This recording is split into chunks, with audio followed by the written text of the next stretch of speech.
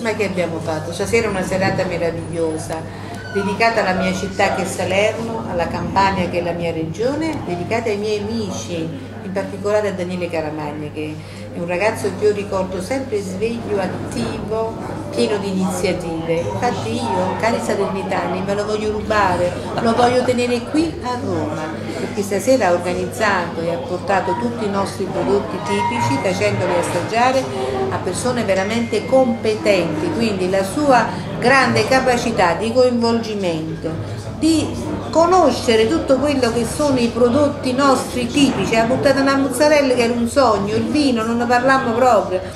E, e, niente, e poi il suo grande modo di parlare, di esprimersi, di raccontare. Sì, ma dobbiamo parlare di te, non di me. No, io allora, voglio parlare di te. No, no, no, Fammi le domande. Eh. Allora, la domanda, come è nata questa serata? Soprattutto abbiamo ospitato Andrea De Simone col suo libro sulla sì. cipolla ramata certo, di Montoro. Eccolo qua, lo faccio vedere.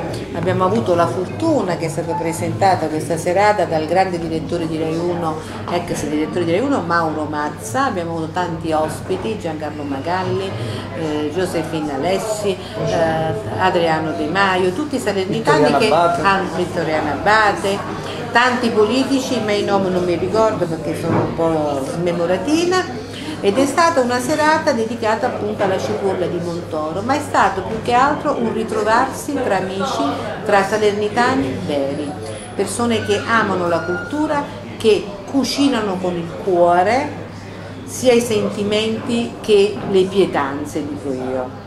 Io ormai mi definisco un po' come mi ha, detto, mi ha definito Alfonso Sarno, un altro salernitano doc, la canta chef. Come nasce questa canta chef? Per il grande amore della musica e della cucina. Io penso che c'è un filo conduttore.